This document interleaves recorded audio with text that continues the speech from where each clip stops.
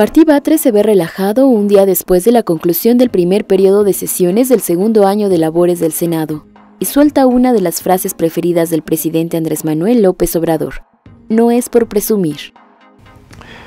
No es por presumir, pero soy el senador que más iniciativas ha presentado. En lo individual, soy el senador que más iniciativas ha, presentado.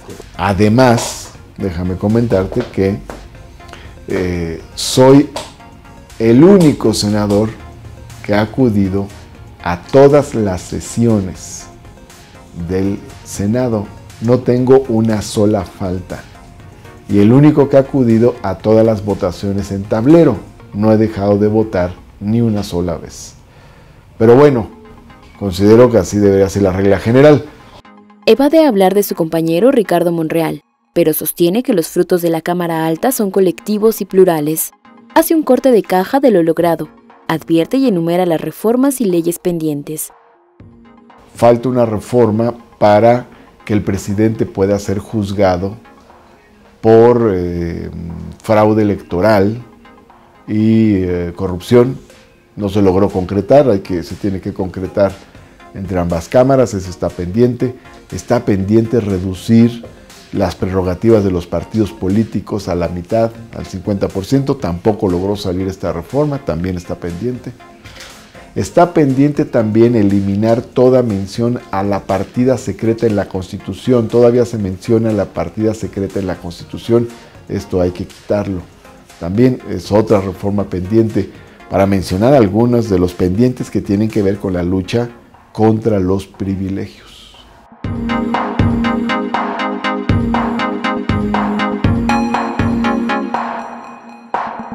Falta mucho ahí. De hecho, no hemos empezado la reforma del Poder Judicial. Esa reforma se tiene que hacer en consenso con el Poder Judicial. Naturalmente el Poder Judicial tiene que participar en su propio proceso de reforma.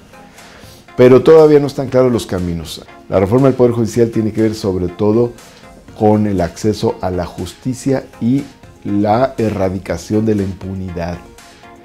Te doy un dato de 33 millones de delitos que se cometen al año, solamente tienen sentencia condenatoria el 2%.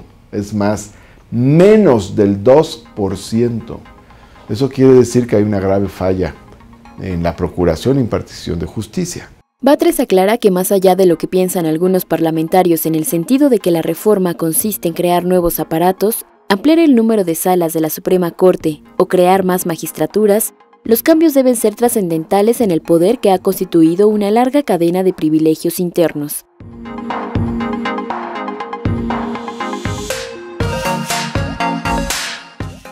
Martí Batres evade en forma política y diplomática el tema de Ricardo Monreal, su colega que en agosto pasado orquestó su caída de la presidencia de la mesa directiva de la Cámara de Senadores. En el Senado se han logrado muchos avances, muchos frutos se han tenido muchas decisiones que son eh, resultado de un trabajo colectivo fundamental. Eh, ahí es donde se encuentra, eh, digamos, la fuente de las buenas decisiones que ha tenido el Senado de la República y sus resultados finalmente son un esfuerzo colectivo, colectivo y plural. Está el tema de la ley del maíz, la protección del maíz nativo, toda una batalla de Ana Lilia Rivera, por ejemplo.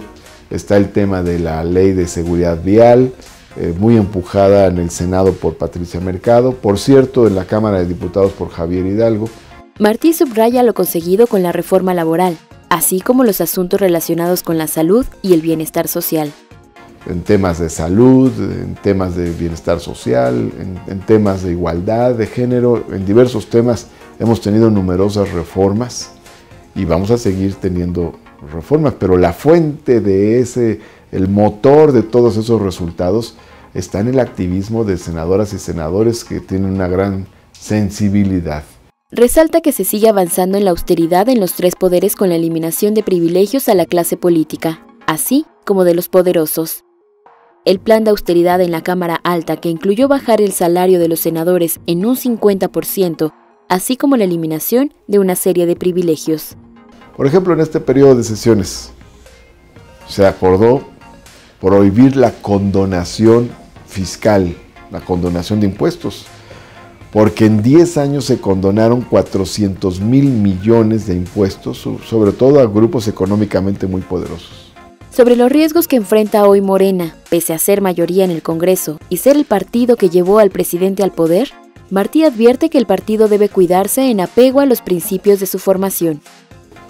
Se busca que no haya grupos, corrientes, tribus, que no haya corporativismo, clientelismo, que la afiliación sea individual, ciudadana, consciente, voluntaria. Se busca también que haya una lucha congruente contra el neoliberalismo que tanto daño hizo a nuestro país durante décadas. Se busca también que los dirigentes vivan con principios, con ideales, con austeridad en su vida cotidiana, que no busquen la política para hacerse ricos, millonarios, que sobre todo basen su conducta en la honestidad.